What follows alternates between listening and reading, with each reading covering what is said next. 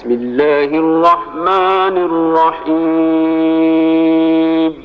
اللہ کے نام سے شروع جو نہایت مہربان ہمیشہ رحم فرمانے والے ہیں